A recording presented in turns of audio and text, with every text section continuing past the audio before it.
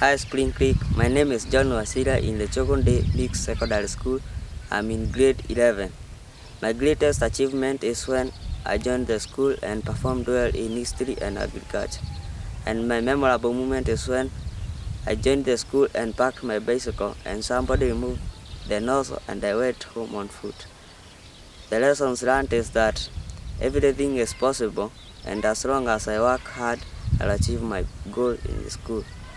And as you can see currently in our country, it is raining and everywhere is muddy. Thank you for your support and I know I'll achieve my goals in life. Thank you.